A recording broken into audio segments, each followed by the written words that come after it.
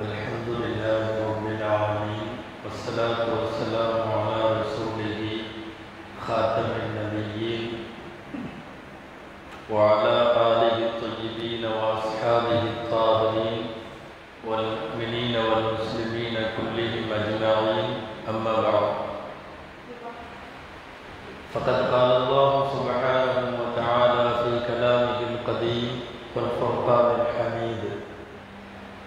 بالله من الشيطان الرجيم. بسم الله الرحمن الرحيم. يا أيها الناس قد جاءتكم موعظة من ربكم وشفاء لما في الصدور وهدى ورحمة للمؤمنين. قل بفضل الله وبرحمته فبذلك فليفرحوا هو خير مما يجمعون. சதப்பல்லாஹி அல்லாஹுக்கே எல்லா புகழும். அருமையாயிரம் முகமது ரசூலுல்லா சல்லல்லாஹு அலைஹி வசல்லம் அவர்களின் மீதும் அவர்களினுடைய சத்திய வழியை பின்பற்றி வாழ்ந்த அனைத்து நல்லடியார்கள் குறிப்பாக நம் அனைவர் மீதும் எல்லாம் வல்ல அல்லாஹுவின் நல்லரும் என்றென்றும் நிறைவாக உண்டாவதாக. ஆமீன். அல்லாஹுவின் பேரருளால் கடந்த வாரம் சூரா யூனிசனுடைய ஐம்பத்தி ஆறு வசனங்கள் வரை பார்த்து முடித்தோம். அல்லாஹுல்ல ஷாஹு தாலா இதற்கு முன்பும் திருக்குர்ஆனை குறித்து அது அவதூறாக சொல்லப்பட்டது. அது வகையாய் வரவில்லை. முகம்மது தானாகவே அதை சொல்கிறார். அவர் செய்ததுதான் இதெல்லாம் என்றெல்லாம் சொல்லப்பட்ட பல்வேறு கருத்துகளுக்கு அல்லாஹ் கடந்த யூனுசனுடைய பல்வேறு வசனங்களில் அல்லாஹ் மறுப்பு கொடுத்தான். இப்போது அந்த திருமுறை குறித்து இரண்டு வசனங்கள். சூரா யூனுசுடைய ஐம்பத்தி ஏழு ஐம்பத்தி எட்டு ஆகிய இரண்டு வசனங்களை மாத்திரம் பார்க்கிறோம். அல்லாஹு தாலா சொல்லுகிறான் முதலில் அவனுடைய வார்த்தைகளில் கேட்கலாம். யா ஐயுகன்னாஸ் ஜனங்களே கது ஜாகத்துக்கும் மௌழிதத்தும் நிர்வந்திக்கும் உங்கள் இரட்சகரிடமிருந்து உங்களுக்கு நல்லுபதேசம் வந்திருக்கிறது. ஒஷிஃபாவும் லிமாஃபி சுதூர். உள்ளங்களிலே உள்ள நோய்களுக்கு மருந்து வந்திருக்கிறது. வகுடன் நேர்வழி வந்திருக்கிறது. வரஹ்மத்துல்லில் முக்மினின் முக்மின்களுக்கு விசுவாசிகளுக்கு ரஹ்மத்து அருள்கொடை கிருமை வந்திருக்கிறது. குல் நபியே சொல்லுங்கள் பிஃபதலில்லாஹி ஒபி ரஹ்மத்திஹி அல்லாஹுடைய சிறப்பை கொண்டும் அல்லாஹுடைய ரஹ்மத்தை கொண்டும் ஃபபிதாலிக ஃபல்யஃப்ரஹு. இதை கொண்டு அவர்கள் மகிழ்ச்சி அடையட்டும். ஹுவ சைரும் மிம்மா யஜ்மஊன். அவர்கள் சேகரித்து வைத்திருக்கிற எல்லாவற்றையும் விட அல்லாஹுடைய இந்த ரஹ்மத்தும் அல்லாஹுடைய இந்த ஃபசில் என்கிற சிறப்பும் இதுதான் சிறந்தது என்று ஐம்பத்தி ஏழு ஐம்பத்தி எட்டு வசனங்களிலே அல்லாஹ் சொல்லுகிறார் திருக்குறளானுடைய உயர்வை சொல்லி அதன் மூலமாக திருக்குறளானை குறித்து அவர்களிடையே பரவி இருக்கிற அல்லது திட்டமிட்டு பரப்பப்படுகிற விஷமத்தனமான ஒரு பிரச்சாரம் திருக்குர்ஆன் இது முகம்மதுவால் இட்டுக்கட்டப்பட்டது என்கிற அந்த செய்தியை மறுப்பதற்காக வேண்டி அல்லாஹ் இந்த வசனங்களை சொல்லுகிறான். இதில் திருக்குர்ஆனுக்கு நாலு சிறப்பான வார்த்தைகள் அல்லாஹ் பயன்படுத்துகிறார் திருக்குர்ஆனுடைய நான்கு தன்மைகள் என்று சொல்லலாம். ஒன்று இது நல்லுபதேசம் ரெண்டு இது உள்ளங்களுக்கு ஷிஃபா என்கிற ஆரோக்கியம். உள்ளங்களின் நோய்களுக்கு மருந்து. மூணாவது இது ருதா என்கிற நேர்வழி. நாலாவது இது ரஹ்மத் என்கிற இறைவனின் அருள்கொடை. இந்த நான்கு செய்திகள் நான்கும் குரானுடைய சிறப்பு அம்சங்கள் திருக்குறானுக்கு வழிநடுக பல்வேறு பெயர்களும் பல்வேறு சிறப்புகளும் சொல்லப்பட்டிருக்கிறது. நாம் திருக்குர்ஆனை துவக்கத்தில் இருந்து இறுதி வரை ஓதி பார்த்தால் முஃபஸ்ஸிரின்கள் திருக்குர்ஆனுடைய விரிவுரையாளர்கள் சொல்லுகிறார்கள். திருக்குர்ஆனுக்கு திருக்குர்ஆனிலே குர்ஆன் என்கிற பெயர் அல்லாமல் சுமார் ஐம்பத்தி அஞ்சு பெயர்கள் சொல்லப்பட்டிருக்கிறது. திருக்குர்ஆன். குர்ஆனுங்கிறது அதில் ஒரு பேர். ஃபுர்கான் அப்படிங்கிறது ஒரு பேர். நூர் அப்படிங்கிறது ஒரு பேர். திகர் அப்படிங்கிறது ஒரு பேர். குரானினுடைய வழிநெடுகிலும் குரானுக்கான மாற்று வார்த்தைகள் அல்லாஹ் சொல்லுகிறார். இந்த மாற்று வார்த்தைகள் எத்தனை வருகிறதோ அதில் முக்கியமானது இங்கே வருகிறது. இதற்கு அல்லாஹ் இந்த ஆயத்தில் திருக்குர்ஆனுக்கு ரஹ்மத் என்று பெயர் சொல்லுகிறார். திருக்குர்ஆனுக்கு ஹுதா என்று பெயர் திருக்குர்ஆனுக்கு ஷிஃபா என்று பெயர் சொல்லுகிறார். இப்ப இந்த நான்கு தன்மைகளும் உள்ளடக்கிய ஒரு நூல் நிச்சயமாக மனிதர்களின் உள்ளங்களிலே அது மாற்றத்தை ஏற்படுத்தும் என்பது அல்லாஹுடைய வார்த்தை. குரானுக்கு இந்த நாலு தன்மைகளும் ஒரு வகையில் நாம் தொகுத்து பார்த்தால் தெரியும். நபிகள் நாயகம் செல்ல அலைஹி வஸல்லம் அவர்கள் இந்த திருக்குர்ஆனுடைய நான்கு தன்மைகளையும் மக்களிடத்திலே சொல்லுகிறார்கள் ரசூல் ஸல்லல்லாஹு அலைஹி வஸல்லம் ஒரு மருத்துவரை போல ஒரு டாக்டர் ஒரு டாக்டர் என்னென்னவெல்லாம் செய்யணுமோ அந்த step by step by step இந்த நாலு விஷயமும் இதில் இருக்கு முதல் விஷயம் அல்லாஹ் சொன்னான் குர்ஆன் நல்லுபதேசம் முதல்ல ஒரு டாக்டர் வர்ற பேஷண்ட் கிட்ட முதல்ல அட்வைஸ் பண்ணணும் மருந்து ரெண்டாவது பட்சம். அவர் மருந்து எழுதுவதற்கு முன்னால் மருந்து கொடுப்பதற்கு முன்னால் அந்த நோயாளி இடத்துல முதல்ல பேசுவார் உங்களுக்கு இப்படி வியாதி வந்திருக்கிறது. இந்த வியாதி இப்படிப்பட்ட நிலையில உள்ளது. இதை இப்படி கையாள வேண்டும். என்றெல்லாம் முதலிலே மௌழிதா உபதேசம் செய்ய வேண்டும். ரெண்டாவது ஷிஃபாவுல் அது ஷிஃபாவாகும் நல்லா சொல்லும் இதுக்கப்புறம் அவர் தன்னுடைய மருத்துவ பிரிஸ்கிரிப்ஷனில் சீட்டில் மருந்துகளை எழுதுவார். மருந்துகளை எல்லாம் எழுதி கொடுக்கணும். ஒரு மருத்துவருடைய ரெண்டாவது வேலை. இந்த ஆயத்தில் வந்திருக்கிற மூணாவது ஹுதா நேர் வழி கைட்லைன் பண்ணணும். ஒரு நல்ல கைடாக இருந்து அவர் வழிகாட்டணும். இந்த மருந்தை இப்படி சாப்பிடணும் இப்படி சாப்பிடக்கூடாது. இன்னென்ன விஷயங்களில் பேணுதல் தேவை? இதை எல்லாத்தையும் சொல்லணும். சொல்லி முடிக்கிற அதே நேரம். நாலாவது விஷயம் திருக்குறானை எல்லாம் சொல்லுகிறானே ரஹ்மத். ஒரு தேர்ந்த மருத்துவர் கிருபையோட பேஷண்ட்கிட்ட நடக்கணும். நிறைய நோய்கள் மருத்துவர்கள் பேசுறதுலேயே பாதி சரியாயிடும். இது ஒன்றும் பெரிய விஷயம் இல்லை. இன்னைக்கு எல்லாத்துக்கும் இருக்குது இந்த நோய். இதில் நீங்கள் ஒன்றும் பெருசாக மனசு விட்டுறாதீங்க. இதை வந்து சரி பண்ணலாம். அங்கே சரியாக இருக்குது இங்கே சரியாக இருக்குது எங்கிட்ட இதுக்கு முன்னாடி வந்த பேஷண்ட்டுகள் இந்த மாதிரி நோயில் இத்தனை பேர் சரியாக இருக்கிறாங்க இப்படி வரிசையாக பேசுறதுலேயே சரியாகும் அது என்னவோ தெரியல சில பேர்கிட்ட போய் உட்கார்ந்த உடனே நோக்கா போகிற மாதிரியே பேசுவாங்க. போய் உட்கார்ந்த உடனே ஆஹ், இதெல்லாம் ரொம்ப கஷ்டம்தான் உங்கள் நாட்கள் என்ன பண்ணுற மாதிரி தெரியுது எவ்வளோ நாள் இருப்பீங்கன்னு தெரியாது அவரை உட்கார வச்சுக்கிட்டு அவர் கூட கூட்டிகிட்டு வந்தவங்ககிட்ட சொல்லுவாங்க இவரை பத்திரமா குழந்தை மாதிரி பார்த்துங்க ஆல்மோஸ்ட் இவருடைய இது இதாகிடுச்சு அவருக்கு பாதி ரூபா அங்கேயே போயிடும் அது சில பேர் பேசுகிற பேச்சே அப்படித்தான். லேசாக ஹார்ட்டில் பேஷண்ட்டுன்னு போனாலே டாக்டர் கேட்குற முதல் கேள்வி இன்னைக்கு தனியாக வந்தீங்க. அப்படின்னா நீ போகிற கண்டிஷனில் இருக்க நீ எப்படி தனியாக வந்த அப்படிங்கிற மாதிரி பேச்சு. இப்போ நபிகள் நாயகம் ஸல்லல்லாஹு அலைஹி இந்த உம்மத்தினுடைய மருத்துவர் இந்த உம்மத்தினுடைய வைத்தியர் இந்த உம்மத்துக்கான சிறந்த டாக்டர். ஒரு டாக்டருடைய நாலு ஸ்டெப்புகள் தெளிவாக இந்த ஆயத்தில் சொல்லப்படும். முதல்ல நல்லுபதேசம் ரெண்டாவது ஷிஃபா மூணாவது கைடன்ஸ் பண்ணுறது நாலாவது ரஹ்மத்துல்லில் மோமினி கிருபையோடு பேசுறது. நபிசல்லா அலி செல்லம் முதல்ல வந்த உடனே மக்கள்கிட்ட அவர்கள் நல்லது கெட்டதை பற்றி உபதேசம் செய்தார்கள்.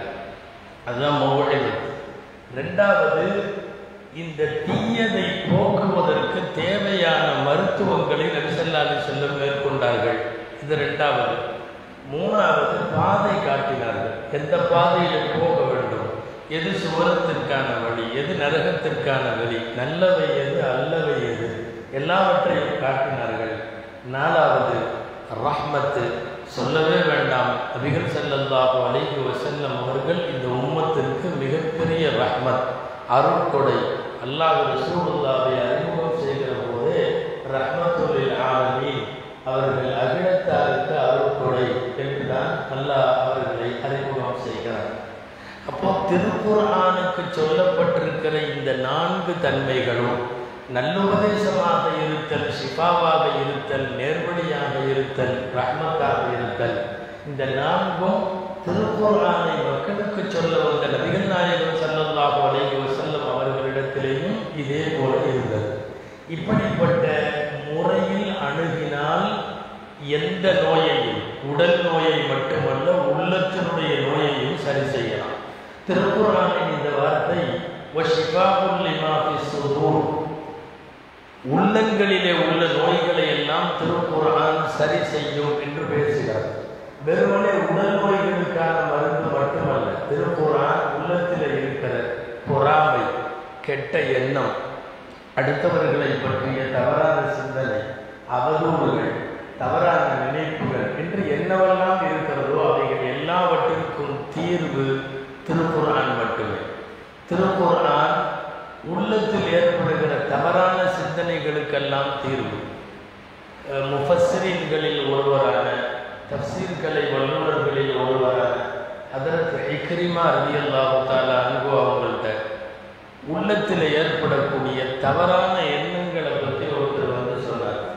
அதாவது அடக்கினாலும் அடங்க மறுக்கிற மறக்க வேண்டும் என்று நினைத்தாலும் மறக்க முடியாமல் இருக்கிற இந்த மாதிரி தவறான சிந்தனைகள் ஏற்படுகிறதுன்னு சொல்லி எக்ரிமாரதி எல்லா வருபவர்களிடத்தில் கேட்டபோது அலைக்க பி ஒரு ஆண் நீ குர்ஆன் ஓதுவதை பற்றி பிடித்துக்கொள் அதை பழக்கமாக்கி கொண்டு வா என்று சொன்னார்கள் திருமறையை ஓதுவதால் உள்ளத்தில் இருக்கிற பிணிகளும் அழுக்காறுகளும் நீங்கும்.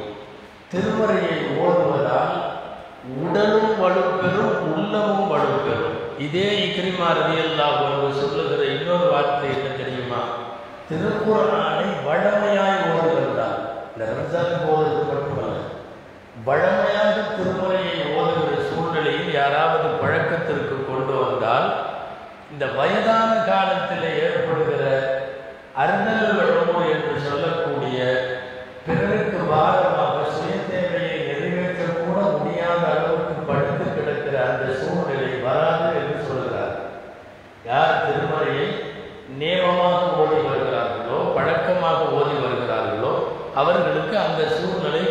அவர் எத்தனை வயசு இருந்தாலும் சொந்த தேவையை தானே செய்து கொள்ளுகிற அளவுக்கு அவருக்கு வபாத்து வரும்.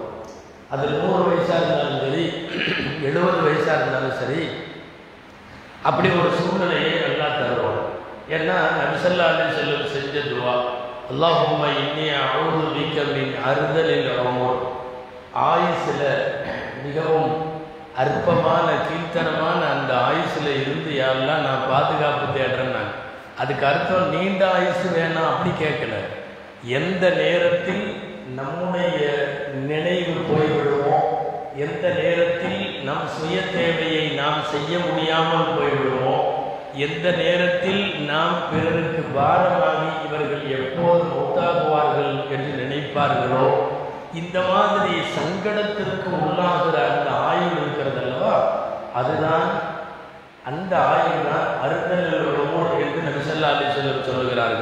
திருக்குர்ஆன் ஓதக்கூடியவர்களுக்கு இது வராது.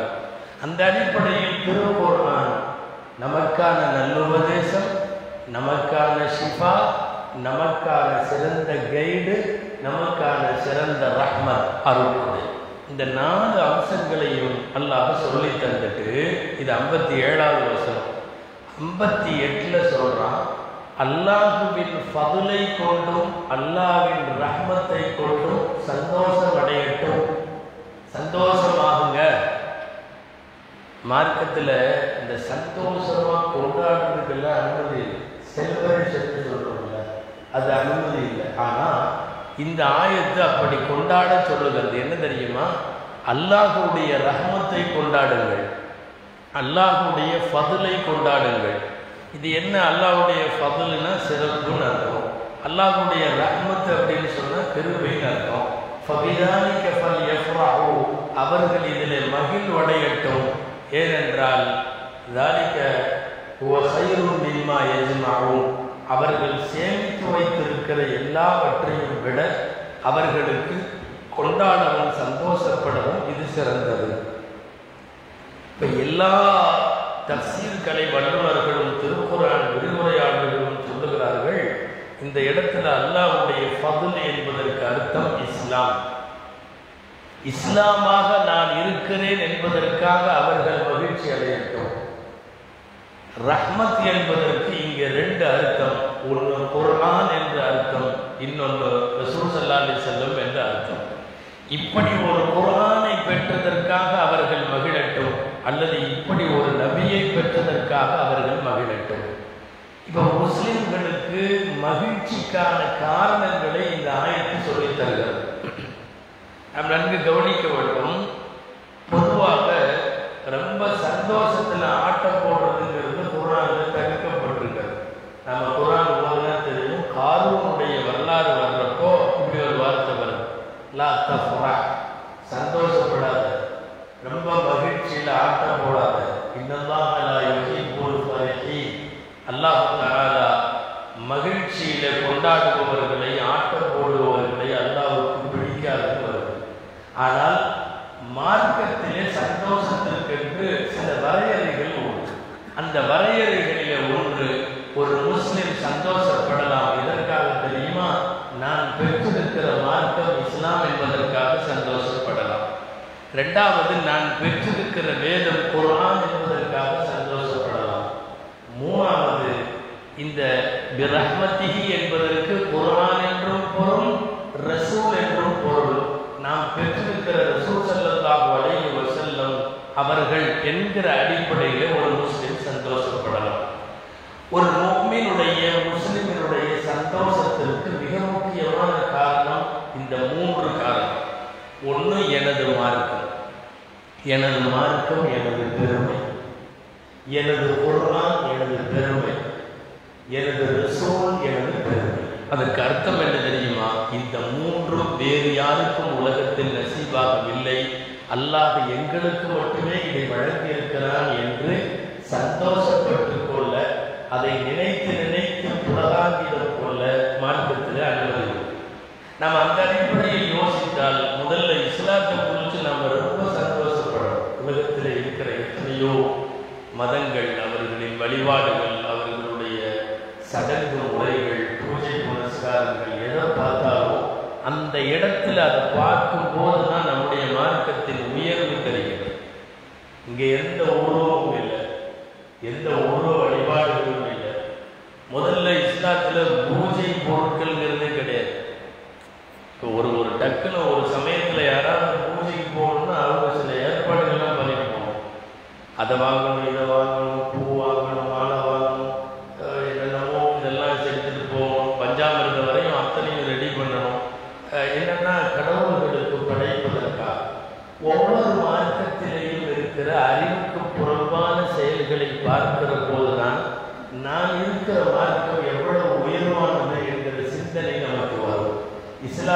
பெருமையை பற்றி தெரிய வேண்டுமானால் இஸ்லாம் அல்லாத மக்களின் மக்களின் சடங்குகளை பார்த்தால் தெரியும். அவர்களின் சம்பிரதாயங்களை பார்த்தால் தெரியும்.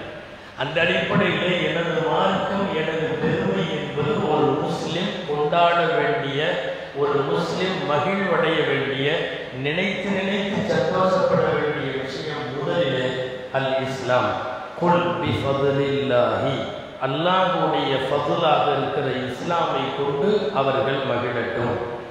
ஏறத்தாழ முஃபஸ்ரீன்களில் தொண்ணூறு சதவீத திருக்குறான் விரிவுரையாளர்கள் குறிப்பாக இந்த ஆயத்தின் அதிக விளக்கத்தை அறிவித்து தருகிற கவித்தோழர் அபூ சமீத் அல் குதுரி போன்றவர்கள் எல்லாம் சொல்லுகிறார்கள் ரெண்டு விஷயத்தில் மகிழ்வடைய சொல்லி அல்லாஹ் சொல்லுகிறார் இதில் முதல் விஷயம் இஸ்லாம் அது குறித்து மகிழலாம்.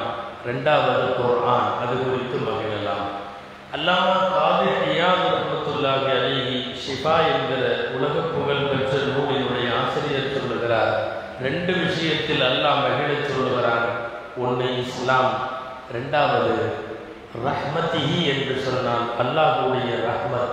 நபிகள் நாயகம் ஸல்லல்லாஹு அலைஹி வஸல்லம் அவர்களை குறித்து மகிழலாம். இந்த ரெண்டு மகிழ்ச்சி. முதல் மகிழ்ச்சி இஸ்லாம். தான் உண்மையாகவே வேறு யாருக்கும் இப்படி ஒரு வார்த்தை எந்த வேதத்திலையும் இருக்கான்னு தெரியல. உங்கள் மார்க்கம் பூர்த்தி செய்யப்பட்ட மார்க்கம்னு குரான்ல வந்துருச்சு. நம்முடைய உச்சகட்ட சந்தோஷம் இதிலே தெரிய வேண்டும் மார்க்கம் பூர்த்தியாகிவிட்டது. அல்யோக துலக்கும் தீனக்கும் நான் உங்கள் மார்க்கத்தை பூர்த்தி செய்து விட்டேன் பரதீத்துலக்கும் உல் இஸ்லாம தீனா. உங்களுக்கு இஸ்லாமிய மார்க்கத்தை நான் பொருந்தி கொண்டேன் பூர்த்தியாக்கப்பட்டுருச்சுன்னா என்ன அர்த்தம் தெரியுமா? இனி யாரும் வந்து கை வைக்க வேண்டிய வேலை இல்லை. உலகத்தில் இருக்கிற அறிஞர்கள்லாம் சேர்ந்தாலும் இங்க இருக்கிற ஒரு ஹராம ஆக்க முடியாது. ஒரு ஹராமை ஹலாலாக்க முடியாது. ஒரு புதுசான ஒரு சட்டத்தை கொண்டு வர முடியாது. ஏற்கனவே இருக்கிற ஒரு சட்டத்தை எடுக்க முடியாது. ஆனால் வேற மதங்கள்ல எல்லாம் இது நடந்துட்டு இருக்கு? இன்னைக்கு வரைக்கும் அவைகள் நடந்து கொண்டிருப்பதை பார்க்கிறோம். என்னென்னவெல்லாம் இருக்கிறதோ அதுவெல்லாம் இன்னைக்கு வரைக்கும் நடக்குது. உலகத்தில் யோசித்து பார்த்தோம் என்றால் குறிப்பாக கிறிஸ்தவ மதத்தில். இன்னைக்கு வரைக்கும் சட்டங்களை எல்லாம் இதாகி கொண்டே இருக்கிறார். சட்டங்களை கொண்டு வந்து புதுசு புதுசாக கொண்டு வந்துட்டே இருக்கிறார். அந்த போப் வர அவர் வந்துட்டு ஒரு இதை அடுத்து இன்னொரு போப் வர்றாரு. அவர் ஒன்று சொல்கிறார் முதல்ல ஒன்று ஹராம் இருந்துச்சு. திருமணமே வேணான்னு சொன்னாங்க. திருமணமே வேணான்னாங்க அதுக்கப்புறம் செஞ்சுக்கிறது அவங்கவுங்க பெரியவனாங்க அதுக்கப்புறம் பாதிரிகளாக இருக்கிறவங்க கல்யாணம் பண்ண வேணாம் அப்படிங்கிற மாதிரி சொன்னாங்க. ஏதேதோ வேறு சில மதங்களில் அசைவம் சைவம் பிரச்சனை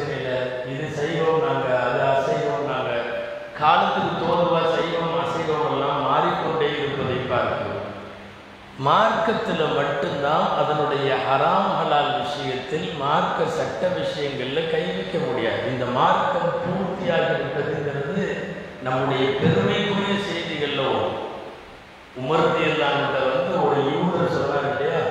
உங்கள் குரானில் ஒரு ஆயத்து இருக்குது.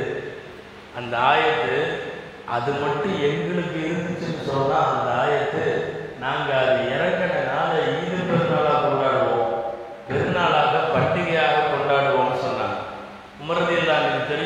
இந்த ஆயத்து தான் நான் இஸ்லாமிய மார்க்கத்தை பூர்த்தியாக்கி விட்டேன் அப்படின்னு அல்லாஹ் சொல்றது நபிசல்லா அலி செல்லம் ஹஜ்ஜில் இருக்கிறப்போ பெருநாள் அன்னைக்கு தான் அந்த ஆயத்து இறங்குச்சு. அதனால உமரதி இல்லாமலும் அந்த யூகத்தை சொன்னாங்க நீ எந்த ஆயத்தை சொல்றேன்னு தெரியும்? அது எப்போ இறங்குச்சுன்னு தெரியும். அந்த ஆயத்து இறங்கினப்ப நான் ரசூல்லாவுடைய பக்கத்தில் இருந்தேன். அந்த ஆயத்து இறங்கின நாள் எங்கள்கிட்ட ஏற்கனவே பெருநாளாக தான் இருக்குது. அப்படின்னு பதில் சொன்னாங்க. உமரதி அங்கும் இந்த மார்க்கம் பூர்த்தியாகிவிட்டது என்பது அல்லாஹ் நமக்கு வழங்கியிருக்கிற மிகப்பெரிய பெருமைக்குரிய செய்தி. அதிகமாக சந்தோஷப்படக்கூடாது கொண்டாடக்கூடாதுன்னு சொல்ற இஸ்லாம். நீங்கள் இந்த மார்க்கத்தை பெற்றீர்கள் என்பதற்காக கொண்டாடப்படுங்கள் கொண்டாடுங்கள். பொதுவா இன்ன தீன இந்த இஸ்லாம் குரானில் வருது. இஸ்லாம் அல்லாஹுவிடத்திலே அங்கீகாரமான மார்க்கம். அப்போ நாம எந்த மார்க்கத்தின் மீது இருக்கிறோமோ அது அல்லாஹ்விடத்தில் அங்கீகாரம் என்பது எவ்வளவு பெரிய பாக்கியம். இந்த மார்க்கத்தினுடைய சட்டங்களை போல் லகுவாக உலகத்தில் வேற ரொம்ப லகுவாக. ரொம்ப சிம்பிளாக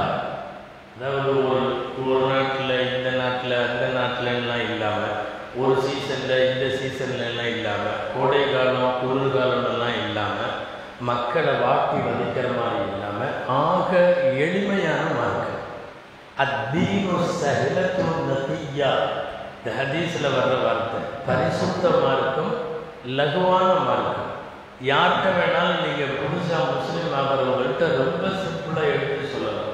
உயிரை வருத்திக்கிற மாதிரி உள்ள விஷயமெல்லாம் இங்கே இல்லை. வெறும் காலில் நடந்தே நீங்கள் போகணும். எந்த மழையாக இருந்தாலும் எத்தனை நூறு நூறு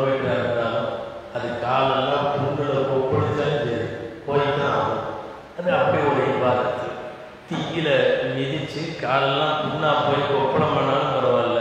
தீ மிதிச்சு தான் ஆகும் அது ஒரு இவாதத்து என்னென்னவோ வகையான விவாதத்துகள். இஸ்லாத்தில் எங்கேயுமே மனிதர்களினுடைய தனிப்பட்ட முறையில் அவர்கள் வெறுக்கிற அளவுக்கு உண்டான எந்த இவாதத்தும் இங்கே இல்லை.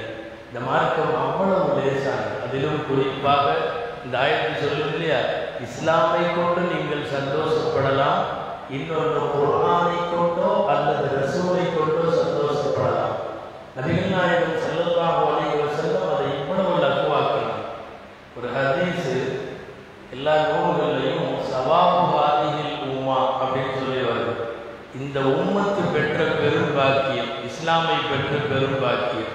நபிகள் ஸல்லல்லாஹு அலைஹி செல்லத்திற்கு கீழே நாம் இருக்கிற காரணத்தால் ரசூல் ஸல்லல்லாஹு அலைஹி வழியாக இஸ்லாத்தை பெற்ற காரணத்தால் நமக்கு என்னவெல்லாம் கிடைத்திருக்கிறது என்பதை சொல்லுகிற ஏராளமான செய்தி. முதல்ல நான் முஸ்லிம் அப்படிங்கிற ஒரு வார்த்தைக்குள்ள நான் வந்த உடனே எனக்கு நிரந்தர நரகம் என்பது இல்லை. நிரந்தர நரகம் இல்லை. யோசித்தாலே சிலிர்க்கிறது. காலமெல்லாம் வெளியே வர முடியாத அளவுக்கு இந்த கனிமா சொல்லாதவனுக்கு இருக்கிறது அல்லாஹுவை சிறுத்து செய்யாமல் சந்தித்து விட்டால் வேற எல்லா பாவங்களும் அல்லாஹ் தௌபாவிலே மன்னிப்பான் அவன் கிருமையிலே மன்னிப்பான். சிற்கில்லாமல் ரத்தை சந்தித்து விடுகிற போது எனக்கான நான் முஸ்லிம் என்பதற்கான மிகப்பெரிய பெருமை என்ன தெரியுமா? நான் அங்கே இருக்க வேண்டிய அவசியம் இல்லை. நரகம் எனக்கு நிரந்தரம் அல்ல.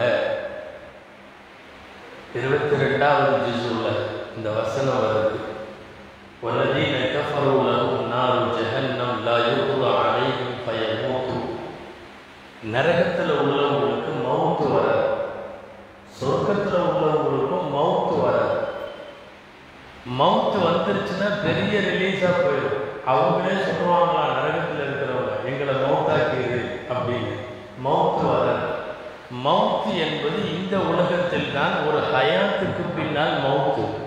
எந்திரிச்சதுக்கப்புறம் அங்கே அங்க வந்து மவுத்து கிடையாது. பயமும் அடையும் பயமும் அப்ப அவங்களுக்கு வேதனையும் குறைக்கப்படுவதில்லை மரணமும் அவர்களுக்கு வருவதில்லை அவர்கள் அனுபவித்துக் கொண்டே இருக்க வேண்டும். அதே இருபத்தி ரெண்டாவது ஜிதுல தொடர்ந்து வர்ற வசனம் நரகத்திலே இருப்பவர்கள் மலக்குகளை நோக்கி சொல்லுவார்களாம். நீங்கள் உங்கள் ரப்பிட்ட பேசுங்க. எங்களுக்கு வேதனையை குறையுங்கள் அல்லது மௌத்தாக்குங்கள். அந்த மலக்குகள் திரும்ப பதில் சொல்லுவார்கள். யுகஃபிஃப் அண்ணா யௌமம் மினல் அதா அப்படிங்கிறதுக்கு மலக்குகள் சொல்லுவார்கள். சத்தம் போடாமல் கூச்சல் போடாமல் நீங்கள் இருங்கள். உங்களுக்கு மரணம் இங்கே வருவதற்கு வாய்ப்பே இல்லை என்று சொல்லுவார்கள். அப்போ ஒரு முடிவுக்கு வராத துன்பங்களாக இருக்கிற நரகம் ஒரு முடிவுக்கே வராத இன்பங்களாக இருக்கிற சொர்க்கம். ரப்பு இஸ்லாம் என்கிற ஒற்றை அடையாளத்தின் மூலம் நமக்கு தந்திருக்கிறார். பெரிய பெரிய மார்க்க அறிஞர்கள் குறிப்பாக நாம் கசாலி அப்துல்லாதையும் அதையும் சொல்லுவாங்க யாரெல்லாம் வந்து பை முஸ்லீமாக இருக்கிறார்கள் பிறப்பின் வழியாக முஸ்லீமாக இருக்காங்க நாமெல்லாம் யாராவது அல்லாட்ட நான் முஸ்லீமாக பிறக்கணும்னு நாம துவா செஞ்சோமா? இல்லை. போய்மாம் ரஜாலி ரஹமத்துல்லாவை சொல்லுகிறார்கள் கேட்காமலேயே இஸ்லாமை நமக்கு கொடுத்த இறைவன் நாம் கேட்கிற சொர்க்கத்தை தராமலா போவான் நிச்சயம் தருவான். என்ன இஸ்லாமை நாம் கேட்கல கொடுத்துட்டானே அப்ப நாம அடிக்கடி கேட்டுட்டு இருக்கிற சொர்க்கத்தையும் அவன் தந்துருவானல்ல ஒரு முஸ்லிம் இஸ்லாம் என்கிற துருப்பு சீட்டு தான் நம்மை இப்படி கொண்டு போய் சேர்க்க இதை தவிர நாம் மகிழ்ச்சி அடைவதற்கு இந்த ஆயத்தில் சொல்லப்பட்டிருக்கிற இஸ்லாமை கொண்டு மகிழ்ச்சி அடையுங்கள் குரானை கொண்டு மகிழ்ச்சி அடையுங்கள். நம்முடைய மகிழ்ச்சிக்கு இன்னொரு மிகப்பெரிய அம்சம் என்ன தெரியுமா? திருக்குரான் நம்மை மட்டும்தான் ஹைருல் உம்மத் என்று சொல்லுகிறார் நாம் உலகத்தில் தோன்றிய எல்லா சமுதாயங்களிலும் ஆகச் சிறந்த சமுதாயமாக நாம் இருக்கிறோம். இஸ்லாம் முஸ்லிம் குர்ஆன் ரசூல் இவைகளின் மூலமாக நாம் பெற்றவைகள் இவைகளெல்லாம் அதுவும் ரசூல் ஸல்லல்லாஹு அலைஹி மூலமாக பெற்றது. அக்சர் அகிலி ஜன்னதி ஆததன் அக்சர் அகிலி ஜன்னதி ஆததன் நாளை சுவனவாசிகளில் அதிகம் பேர் இந்த உம்மத்தை சார்ந்தவர்கள். ரசூலுல்லாஹுவை பெற்ற இந்த உம்மத்து குர்ஆனை பெற்ற இந்த உம்மத்து இந்த உம்மத்தினுடைய இஸ்லாமின் மூலமாக பெற்ற மிகப்பெரிய கிருவை இன்னொரு ஹதீஸில் வர்ற மாதிரி நூத்தி இருபது அணிகள் பிரிக்கப்படுவானால் நூத்தி இருபது அணிகளில் எண்பது அணிகள் சுவனத்தில் உம்மத்தை முகமதியாவுக்கு நபிசல்லாஹு அலைகள் செல்லமுடைய உம்மத்து என்ற அடிப்படையில் நாம் பெறுகிறோம் நபிசல்லாஹு அலைகள் முஸ்லிம் என்கிற அடிப்படையில் நாம் பெற்ற சில பேர்களை சிலாகித்து சொல்லியிருக்கிறார்கள். இன்னகும் அவ்வளவு உமமி ஜவாசன் அலா சிராத்தி ஜஹன்னம். நரகத்திற்கு முன்னால் இருக்கிற சிராத் என்கிற பாலத்தில் முதலாவதாய் கடப்பது இந்த உம்மத்து என்று சொன்னார்கள். நபிகள் நாயகம் ஸல்லல்லாஹு அலைஹி வஸல்லம் இந்த உள்ள- இந்த உம்மத்து இதெல்லாம் வந்து நினைத்து பெருமிதப்பட வேண்டிய விஷயம் அல்லாஹ் சொல்லுகிறார் துனியாவுடைய எந்தெந்த காரியங்களை நீங்க சேர்த்து வச்சிருக்கிறீங்களோ அதெல்லாம் கொண்டாட தகுதியானதல்ல. அதுவெல்லாம் மகிழ தகுதியானதல்ல. மகிழ்ச்சிக்கு தகுதியானது இந்த ரெண்டு தான். எது? அல்லாஹுடைய ஃபஸ்லும் அல்லாஹுடைய ரஹ்மத்தும். அல்லாஹுடைய ரஹ்மத்தும் ஃபதுலும் இந்த உம்மத்தின் மீது எவ்வளவு இருக்கிறது? வருகை தந்தவர்களில் கடைசியாக நாம் ஆசிரியர் உம்மத் என்று நமக்கு பெயர். கடைசி சமுதாயம். ஆனால் மறுமையில் விசாரணை முதலில் நடக்கிற சமுதாயம். அப்பொழுமை யுகாசம் கேள்விகளுக்கு கேட்கப்படுவது முதல் சமுதாயம் நாம் தான் நமக்கு பின்னாடி தான் மூசா ஈசா போன்ற எந்த உம்மத்தை சார்ந்தவர்களுக்கும் கேள்வி கணக்கு நடக்கும். கேள்வி கணக்கு கேட்கப்படுபவர்ல முதல்ல. கடைசியில வந்தபடி வரிசையில கடைசியா தானே கேள்வி கணக்கு நடக்கும். இல்லை விரைந்து கணக்கு முடிக்கப்பட்டு விரைந்து சுவனம் செல்லுவதால். உம்மத்திலே கடைசி ரசூல்லாவுடைய வார்த்தையில் சொன்னா ஆசிரியர்கள் உம்மா ஒவ்வொருமையும் ஆசார் கேள்வி கணக்கு கேட்பதில் இந்த உம்மத்து முதலாவதாக என்று சொல்லிவிட்டார்கள் நபி ஸல்லல்லாஹு ரசூலுல்லாவின் காரணமாக குர்ஹானின் காரணமாக நாம் பெற்ற நினைத்து நினைத்து மகிழ வேண்டிய விஷயங்கள் இப்படி ஏராளமாக நிறைய செய்திகள் ஒவ்வொரு நேரம்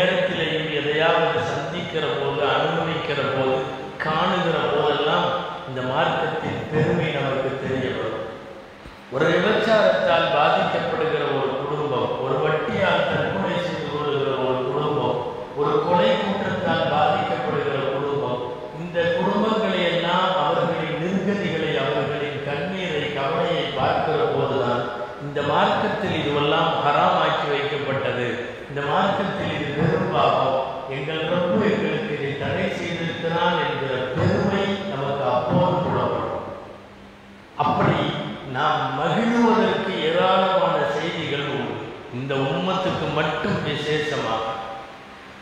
மனசில் நினைக்கிறது ஆண்டவன் தண்டனை கொடுக்கறதில்ல.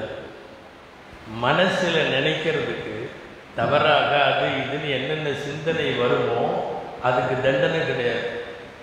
ஒருவேளை அல்ல அதுக்கு தண்டிக்க ஆரம்பித்தா சொர்க்கத்துக்கு யாரும் போக முடியாது. ஒவ்வொருவருடைய மனதிலேயும் சாக்கடைகள் நிறைய உண்டு. மனசு அப்படிப்பட்ட சாக்கடைகளின் மர்க்கஸ் தான் அது. அப்போ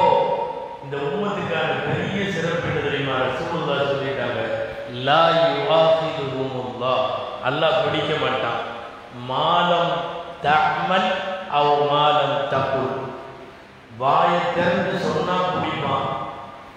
செயல்ல இறங்கிட்டா பிடிப்பான். மனசுல நினைப்பா இருக்கிற வரையும் பிடிக்க மாட்டான். ஏதோ ஒரு பாவம் அந்த பாவத்தை மனசுல நினைக்கிறோம். வாயிலையும் சொல்லல அந்த பாவத்துக்கு செயலே இறங்கல. வாயை திறக்காத வரை செயலில் இறங்காத வரை மனதளவில் மட்டும் இருக்கிற வரை அல்லாஹ் நம்மை பிடிப்பதில்லை. இந்த விஷயம் முந்தைய உமத்துக்கு இல்லைங்கிற மாதிரி நமக்கு அதிசயங்களிலே குறிப்பு இருக்கிறது. இந்த அதிசனுடைய விதிமுறைகளிலேயே அதை எழுதுகிறார்கள். உள்ளத்தினுடைய தீய சிந்தனைகளுக்கு அல்லாஹுவிடம் தண்டனை இல்லை என்பது இந்த உம்மத்திற்கு இறைவன் வழங்கிய பெரிய அருட்கொடை. கொஞ்சம் யோசிச்சு பாருங்க மனசுல நினைக்கிறதுக்கெல்லாம் தண்டனைன்னு ஆரம்பிச்சா எவ்வளவு பாவங்களை சுமக்க வேண்டியது வரும்? எவ்வளவு தண்டனைகளை சுமக்க வேண்டியது வரும்? மார்க்கத்தில் இது பொது சட்டம். பாய திறக்கிற வரையும் பிரச்சனை இல்லை. அதே மாதிரி செயல்ல இறங்குற வரையும் பிரச்சனை இல்லை. நபிசல்லா செல்லம் இந்த உம்மத்திற்கான சிறப்பு செய்திகளா? இதெல்லாம் நாம பெருமையோட கொண்டாட வேண்டிய திரும்ப திரும்ப நினைத்து மகிழ வேண்டிய செய்தி. இன்னொன்று என்னன்னா மறந்து செய்ததும் தெரியாமல் செய்ததும். எல்லாம் பிடிக்க மாட்டான் இந்த உமத்திற்கான சிறப்பு செய்திகள்ல ரசூல்லா சொல்றாங்க ஹதமும் நேசியான். தவறாக செஞ்சதை பிடிக்க மாட்டான். மறந்து செஞ்சதை பிடிக்க மாட்டான். எல்லாத்துக்கும் உள்ளது மறதி. தொழுகலாம் தொழுகலாம்னு நினைச்சுக்கிட்டே இருப்போம். ஏதாவது பிஸியில் இருப்போம் வேலையில் அது இது கம்ப்ளீட்டாக மறந்தே போயிடும். சுத்தமாகவே மறந்து தொழுகணுங்கிற நினைப்பு கூட அவருக்கு வராது. மறுநாள் காத்தால யோசிச்சுட்டு இருப்பார். ஆமாம் நேற்று தொழுகணும் நினைச்சது தொழுமா அப்படின்னு யோசிப்பார். அறவே. அவர் அந்த தொழுகையை கலாசையெல்லாம் அது வேற. ஆனால் இந்த மறதியை அல்லாஹ் பிடிக்க மாட்டார் அதே மாதிரி ஒரு மார்க்க சட்டத்தை ஒருவர் தெரியாமல் இருக்கிறார். தெரியவே இல்லை அவருக்கு அப்படி ஒரு சட்டம். அவர் கேள்விப்பட்ட வரைக்கும். ஆனால் ஒரு ஒரு விஷயத்தை அதுதான் சரி நினைச்சிட்டு அவர் இந்த மாதிரி நேரங்களில் அல்லாஹுதல்ல ஷானு தாலா தவறுக்கு பிடிக்க மாட்டோம் நாமளும் அதை துவாவாகவே ஓதிட்டு இருக்கோம்ல லா துவாசிதுனா இன் நசீனா அவ் அஃப்தனா யாரெல்லாம் நாங்கள் மறந்ததுக்கு எங்களை பிடிச்சிடாத அவ் அஃப்தனா அப்படின்னா நாங்கள் தெரியாமல் செஞ்சதுக்கு தவறுதலாக நடந்ததுக்கு எங்களை பிடிச்சிடாத இந்த தவறு என்பதும் மறதி என்பதும் எல்லோருக்குமானது. இந்த உலகத்தில் நபிமார்களுக்கு மட்டும்தான் மறதி வராது. நபிமார்களுக்கு மட்டும்தான் மறதி வராது. மற்றபடி எல்லாத்துக்கும் மறதி வரும். இன்னும் சொல்ல போனால் அந்த நபிமார்கள் தங்களுடைய சொந்த வாழ்க்கையில் அவர்கள் ஏதாவது மறந்திருக்கலாம். ரசூலுல்லாவுக்கு இப்போ அல்லாட்டிருந்து வர்ற செய்திகளை எடுத்து சொல்றதுல மறதி வராது. ஆயிரத்தி கொண்டு வந்து ஜிப்ரேல் அலிஸ்லாம் கொடுத்துருக்காங்க. அதில் நான் ரெண்டாயிரத்தை மறந்துட்டேன். அப்படிலாம் இல்லை. மறக்க மாட்டாங்க. சொல்ல வேண்டிய செய்திகள்லாம் மறந்து வராது. சப்தீஷ் மரபிகள் ஆன சூறாவில் நாம் அடிக்கடி ஓதணும்ல சனு முக ஃபலா தன்சா அப்படியே நாம் உங்களுக்கு வந்து ஓத வைக்கிறோம். எனவே நீங்கள் மறக்க மாட்டீர்கள். மறக்க மாட்டீர்கள். ஆனால் வேறு நேரங்களில் எப்போவாவது மறப்பாங்க. தொழுக வச்சுட்டு இருந்தாங்க நாலு ரக்காயத்து ரெண்டு ரக்காயத்தில் சலான் கொடுத்தாங்க. இப்போ ஒரு சஹாபி கேட்டார் இல்லையா? எவ்வளோ அழகான வார்த்தை கேட்டார். அப்போ சிறுத்தி சலாத்து அம் நசீத்தையார் சூழல்லா ரெண்டாவது ரக்காயத்தில் சலான் கொடுத்த ஒன்று அவர் கேட்டார். ரொம்ப அழகான வார்த்தை.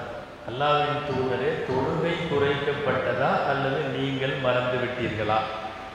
தொழுகை குறைக்கப்பட்டதா அல்லது நீங்கள் மறந்து விட்டீர்களா? ஏன்னா வகி வந்துட்டு இருக்கிற காலம் குறைச்சிருக்கிறதுக்கு சான்ஸ் உண்டு. அல்லாஹ் பார்த்து நாலு ரக்காயத்து மேல் ரெண்டு ரக்காயத்துன்னு சொல்லியிருக்கலாம். சூழலாவுக்கு பின்னாடி உள்ள இந்த காலத்துல எல்லாம் அப்படி வந்து சொல்ல முடியாது.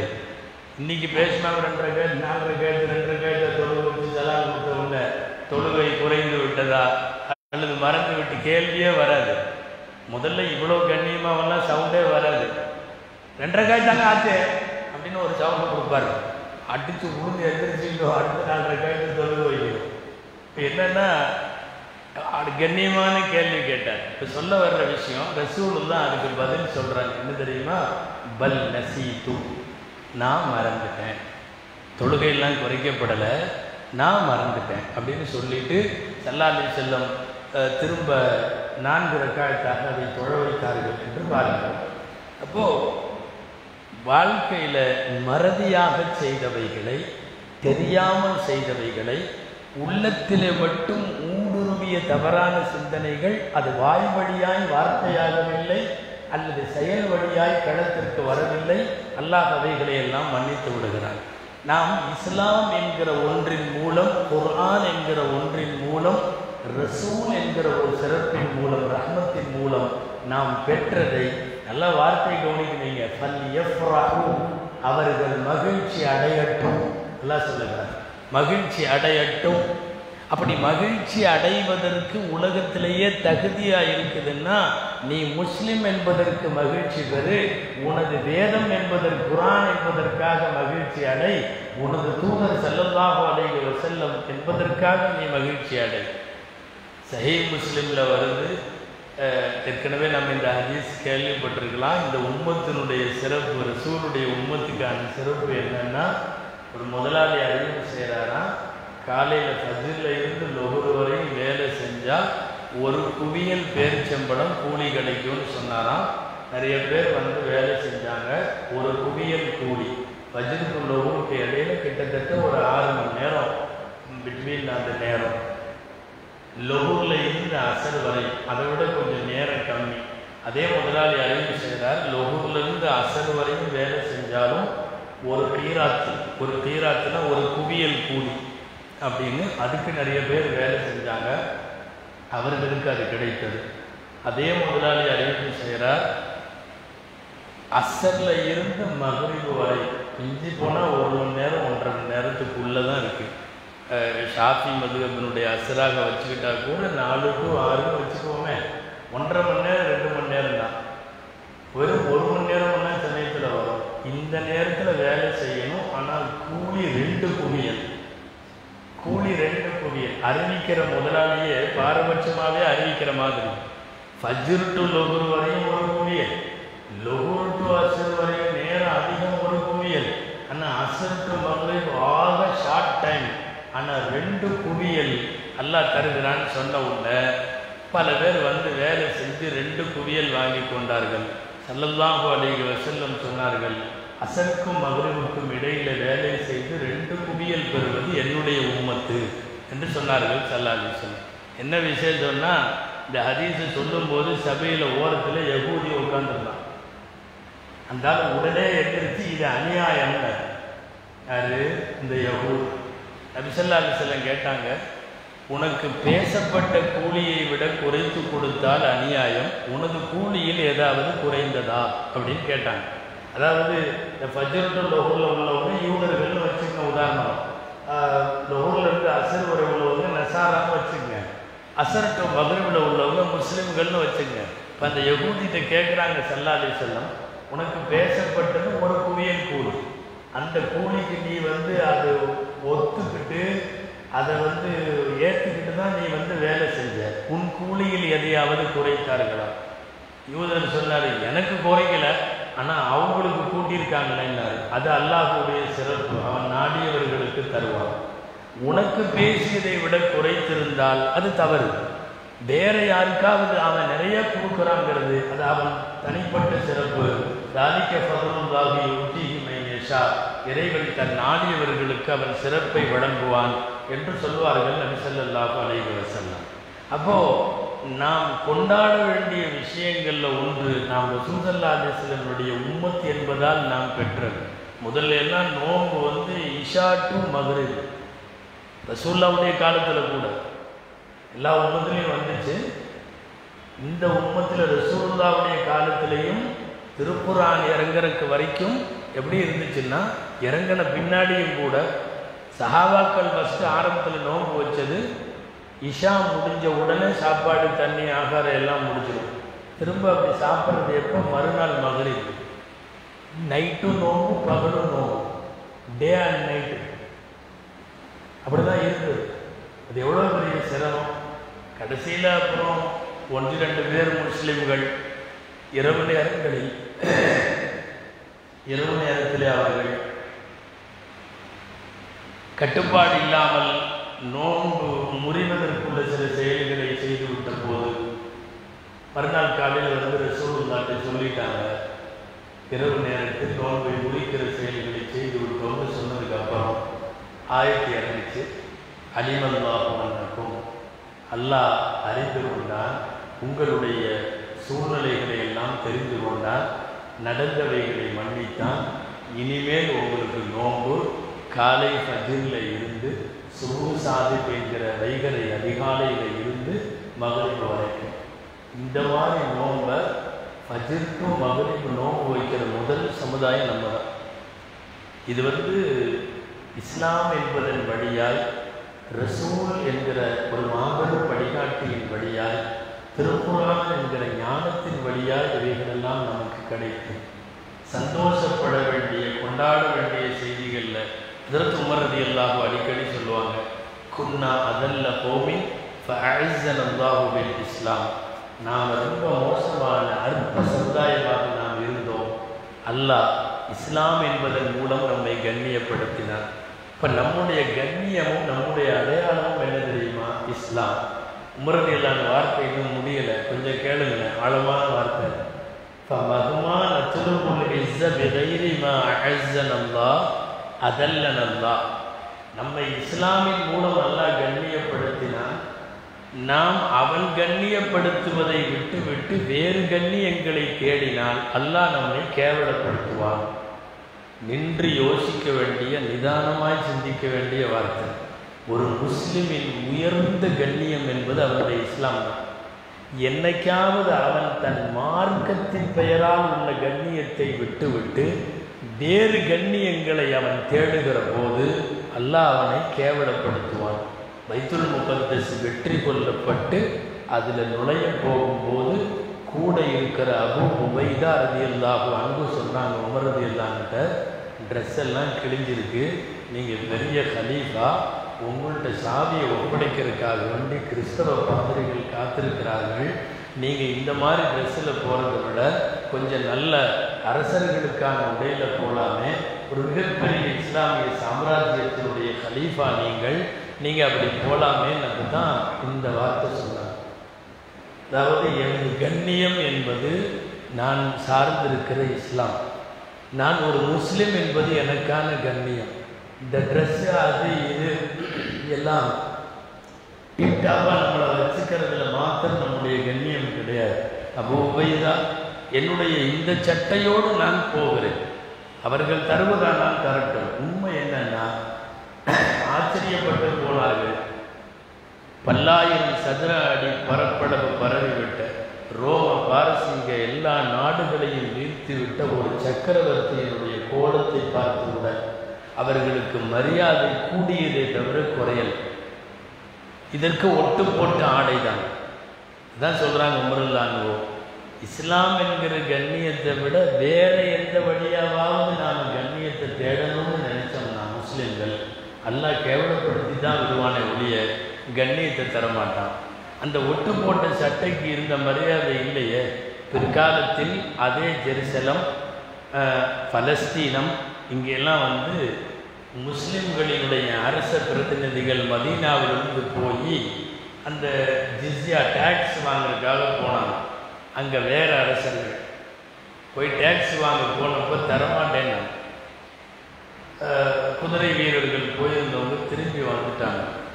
அந்த அரசனே சொன்னான் முதல்ல எல்லாம் சில பேர் வருவாங்க. கிழிஞ்சு போய் ஒட்டு போட்ட துணியெல்லாம் இருக்கும் அவங்கள பார்த்தாவே பாவமாக இருக்கும். ஆனால் சபைக்குள்ளே வந்துட்டா எங்களுக்கு பயமாக இருக்கும். எடுத்து கொடுத்துருவோம் உடனே. இப்போலாம் நீங்கள் எவ்வளவோ டிப்டாப்பாக வர்றீங்க. உங்களை பார்த்தா எங்களுக்கு பயமே வரமாட்டேங்குது. புறத்தோற்றத்தில் அல்ல இஸ்லாமிய கண்ணியம் என்பது அல்லாஹுவால் ஏற்பாடு செய்திருக்கிற மார்க்கத்தின் மீதான கண்ணியம். எனவே நம் சிந்தனையில் வர வேண்டியது எனது இஸ்லாம் தான் எனது பெருமை நான் கையில் வைத்திருக்கிற பொருளால் என்னுடைய பெருமை. நான் வழிகாட்டியாக பெற்றிருக்கிற என்னுடைய ரசூல் நாயகம் ஸல்லல்லாஹு அலைஹி செல்லம் என்னுடைய பெருமை. இந்த பெருமையை விட உலகத்தில் ஒரு முஸ்லிமுக்கு வேறு பெருமை கிடையாது. இந்த பெருமையை கொண்டாடுங்கள் என்கிறது குர்ஆன். ஃபல் யஃப்ரஹு இந்த பெருமையால் இந்த விஷயங்களால் நீங்கள் மகிழ்ச்சி கொள்ளுங்கள் என்று சொல்லுகிறது குரான் இஸ்லாமிய மகிழ்ச்சியை தொடர்ந்து அந்த மகிழ்ச்சியில் திளைப்போம் இஸ்லாமிய அடையாளத்தை இஸ்லாமிய கொள்கையை இஸ்லாமிய சட்டங்களை பேணுவதை எல்லா இடங்களிலும் இஸ்லாமை தூக்கி பிடிப்பதை இவைகளில் மாத்திரம்தான் நம்முடைய பெருமையும் உயர்வும் இருக்கிறது என்கிற விஷயத்தை மாத்திரம் கவனத்தில் கொள்ள வேண்டும் என்பதுதான் சூரா யூனசருடைய ஐம்பத்தி ஏழு ஐம்பத்தி எட்டு ஆயத்தினுடைய கருத்தாகும். அல்லாஹு ஜல்லஷானு தாலா வாழும் காலமெல்லாம் மார்க்கத்தின் மீது நிலையாய் இருப்பதோடு இறக்கிற போதும் இஸ்லாமிய கலிமாவிலும் குர்ஆனையும் ரசூலையும் ஒப்புக்கொண்ட உண்மை முஸ்லிமாய் அல்லாஹுவை சந்திக்க அல்லாஹ் நம் அனைவருக்கும் வரும் புரிவாராக ஆமீன் وآخر دعوانا أن الحمد لله رب العالمين